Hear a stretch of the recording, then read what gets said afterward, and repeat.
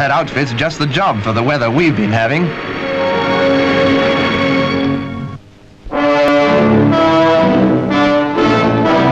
Aftermath of a murder. British forces carry out a stringent security search in Cyprus following the recent outbreak of cold-blooded killings.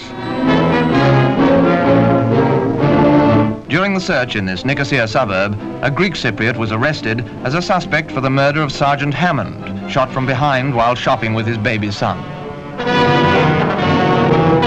Now we learn that EOKA Chief Grivas has ordered a ceasefire in answer to Mr. Macmillan's appeal.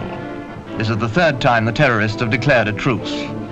Let's hope it's inspired by sincerity and that we're near the end of these senseless, brutal atrocities.